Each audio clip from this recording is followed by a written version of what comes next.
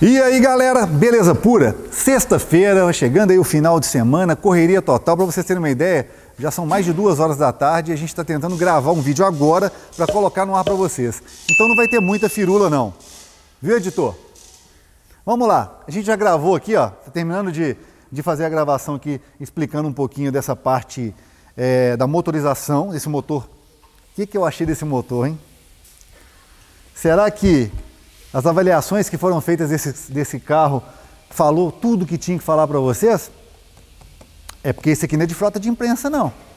Esse aqui eu posso falar o que eu quero. Será que a gente vai ter alguma surpresinha aqui? Aguarde o vídeo dele na semana que vem, tá? Vem pra cá. Fiat 500, que estava fazendo manutenção, ficou aqui duas semanas aguardando polias. Lembra que eu falei que a, que a correia estava meio bamba? Gerando um barulho no motor? Pois é, parou o barulho da correia, mas ele está com um barulhinho ainda estranho ali em alguma parte do motor que vai ter que ser revista. Aqui está ah, tá sendo feita a montagem de pneus novos, tá? A gente está colocando aqui quatro pneus novos que o dono forneceu. A gente não vende pneu na High Torque, tá bom? Pelo menos até, até agora não vale a pena vender pneu. O cliente compra o pneu e manda para a gente. Sobre pneus, hoje está fácil. Você entra na internet e compra. Eu, particularmente, prefiro ir a uma loja física e olhar o pneu, ver o desenho do pneu, ver a classificação, tem tudo isso na internet também tem, mas comprar um pneu dentro da validade e conversar às vezes com o pessoal da parte técnica. Tá? Eu prefiro comprar. Agora, essas vendas casadas que tem por aí, cuidado, ah, o pneu é barato, mas só se você instalar aqui. Cuidado com isso, cuidado com isso, tá bom? Vem cá, tem mais coisas. HB20. Tá aqui um carrinho que eu admiro bastante. Se você não tem problema de autoestima, tá aqui um carrinho que te atende perfeitamente. Às vezes a gente fica vendo muita gente buscando coisas assim sobrenatural, né, que é as coisas muito potentes, muito barulhenta, né? Mas se você é o cara tranquilaço, de boa, não tem que provar nada para ninguém, tá afim, tem uma graninha, até comprar um carrinho bacaninha para você, tá aqui o HB20. A gente entregou um sedã hoje cedo novinho, 1.6 manual e chegou essa belezinha aqui, 1.0, 3 cilindros para a gente. Porém, esse daqui está com algumas coisinhas complicadas aqui do lado dele. É, talvez mistura de tecnologia de aditivo. Você já viu aquele lance quando você para no posto de combustível e gentilmente vem um frentista para te oferecer alguns produtos para arrefecimento, para óleo e tudo mais? Às vezes ele é gentil, ele foi treinado para a rede para vender, obviamente, né? tem que vender, mas às vezes o que ele pode fornecer, é, oferecer para você pode não ser compatível com o que está no seu carro. O tipo de aditivo para esses motores puramente alumínio e os motores é, é, é, é japoneses e coreanos e asiáticos, né? Eles usam aditivos long life. E aí você entra com aditivos às vezes que não tem a tecnologia compatível. E aí o que acontece? Reação química. Reação química, aqui ó, olha só o que está dentro, ó, tá caindo aqui ó. Isso aqui é a reação química, tá aqui ó, vira essa, essa borracha dentro do sistema, tá vendo? E suja tudo. Então todo o sistema de arrefecimento desse carro está contaminado, por quê? Na hora que eu misturo um aditivo diferente com o original do carro, no lugar de eu fazer uma lavagem e entrar um novo, eu vou lá e misturo, e aditivo sai para lá, pá, pá. e aí o aditivo mistura com o outro e reage quimicamente. Beleza? No Manimondo, cara. Só fiz isso porque eu não prestei atenção. Já pensou se ele. O que, que é? Vai encarar e aí dá uma ferroada, né? Sabe onde eu já levei uma ferroada, produção? Pessoal que está assistindo aí. É, lá mesmo. Uma vez, uma abelha. Meu amigo, você quer saber como que aconteceu? Vou poupar os detalhes, mas dói. Dói, tá? É isso aí. Mas então, Está aqui um problema sério, vai ter que ser feita uma limpeza, talvez o radiador tenha que ser substituído, porque as galerias são fininhas, imagina essa lama, essa coisa aí impedindo o radiador de funcionar bem, né? Então a troca térmica deve ser afetada nessa brincadeira aqui. Agora vamos lá, vamos falar de qualidade de peça. Chevrolet Montana continua no elevador, está fazendo uma revisão daquelas. E aí eu estou fazendo a revisão da parte de freios e providenciei no distribuidor cilindros de freio, é os é cilindros auxiliares, né, Matias? E aí, Matias, como é que chama mesmo? Cilindro auxiliar. É, os burrinhos de freio estão tá aqui. Trocamos o, os cilindros e adivinha, novinhos. Colocou no carro, na hora de fazer, só de fazer a sangria, começaram a vazar os dois. Atenção pessoal da Control, da Frasle, né, que é dona da Control hoje aí. Não sei o que aconteceu, tá? Qual é o problema? Os dois vazaram, tá? Os dois. Eu não estou aqui falando mal da marca, não. O que eu estou deixando claro aqui para a Control, o pessoal aí da Frasle, o pessoal da Control e tal. Eu nunca mais compro cilindro da marca de vocês. Nunca mais. E já mandei o áudio aqui para minha rede de franqueados para também não colocarem, porque uma dá problema, tudo bem, mas foram as duas. Reparem, eu não estou falando mal, não estou xingando, não estou falando que é ruim ou coisa assim. Eu simplesmente recomendei a minha franquia que não utilize e a partir de hoje nunca mais eu coloco isso aqui nos carros dos meus clientes.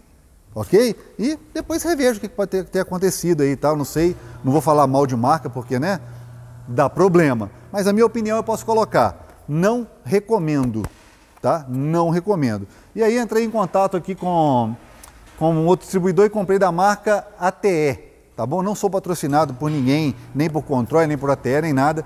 Coloquei da ATE e ó, tá fino, tá funcionando bem, beleza? Uma das coisas que eu admiro bastante é quando um empresário tem uma frota e ele, no lugar de ficar procurando economia porca, ele vai lá e investe em segurança, em qualidade, principalmente quando ele pensa nos seus colaboradores. O cara tem uma empresa e ele, por ver que tem outras pessoas que dirigem o carro, ele vai lá e foca muito em segurança. Bacana isso. Tem uma empresa que é cliente nosso aqui que traz o carro direto, que eles mexem com esquadrilhas, esquadrias de alumínio, uma coisa assim. E aí eles fazem as manutenções aqui. E na hora que vai falar de peças, ele traz tudo original e não fica é, choramingando não. O que, que tem que fazer? É isso? Ele faz. E eu não sei qual oficina que atendia esse cara, eu não sei como que perdeu o cara. Por quê? Fizeram tanta caquinha e ele resolveu trazer aqui pra gente, a gente está conseguindo fidelizar, seguindo bonitinho, a gente passa para ele, né, fala para ele o que, que tem que comprar, ele vai lá, fornece as peças e tira isso daqui, esse aqui não é daqui não, esse aqui vai ser devolvido. Olha só, atuador de embreagem genuíno Ford, embreagem original. Onde é que disse? Onde é difícil, né? Isso, né? Olha só, as buchas da, da barra estabilizadora, tudo original. Filtros, olha só, olha, olha o cara, olha, olha, olha isso aqui. Genuíno, ó. Que que é isso? Retentor original, suporte de motor original, filtros originais, não tem nada paralelo aqui, até a junta do kart é original. Desse jeito dá para trabalhar tranquilo, né? Quem é que gosta de um Binho, né? Deixa eu ver se o Binho gosta. Você gosta, Binho, sim, desse jeito? Vai bem. Melhor? 100%. Encaixa direitinho? Nem uma luva. É, tranquilo? O retentor no, no, no, lugar. Ah, aqui já colocou o retentor do, do, do volante, né? Já. Original também? Genuíno. Né? Vamos, falar com o pessoal. Pessoal, viu o que o Binho disse aqui agora? Original não, genuíno. Genuíno. Qual que é a diferença? Genuíno é aquela peça que é fabricada por uma determinada empresa, que passa por um controle de qualidade, é embalado com a marca. É a mesma peça que vai para a linha de montagem, peça genuína. Original pode ser aquela, às vezes, fabricada por essa empresa, mas que tem um outro processo de controle de qualidade ou similar e que serve no carro. E tem também as paralelas, que são peças similares que nem sempre, às vezes, funciona bem. O ADG é fanboy de Toyota? É, sou. Principalmente aqui, olha isso. Esse carro quebrou essa peça que estava colada lá com, com Durepox, esse, essa, essa emenda aqui da, do sistema de arrefecimento. E a Toyota vende separado, brother. É, não vou falar uma outra marca não, se você quiser comprar isso, tem que comprar a mangueira inteira, com derivação, com tudo mais. O negócio é sinistro. Aqui não, a Toyota ó, tem a peça aqui, ó, vendido separado, legal, genuína também, a gente sabe que vai encaixar perfeitamente lá no carro. Isso facilita muito a vida. Deixa eu dar uma ideia para você, colega consumidor, agora não é para o mecânico não, para o consumidor. Você pode fornecer peças para a oficina mecânica se você conversar com o seu mecânico. Ele pode não querer trabalhar assim, é direito dele, mas é só conversar. Eu, eu não vejo por que um mecânico não querer aplicar uma peça genuína. Qual o problema? Se você trouxer para mim uma peça tabajara, aí sim nós vamos ter problema. Eu vou falar, não, não vou colocar isso não. Mas uma peça genuína, qual o problema? E agora para você, agora aproveitando o gancho, falando para você que tem oficina mecânica. Não coloque dificuldade para ter um relacionamento bom com o seu cliente. Coloque-se no lugar do seu cliente. Né? Facilita a vida. Você é mecânico, você vende mão de obra.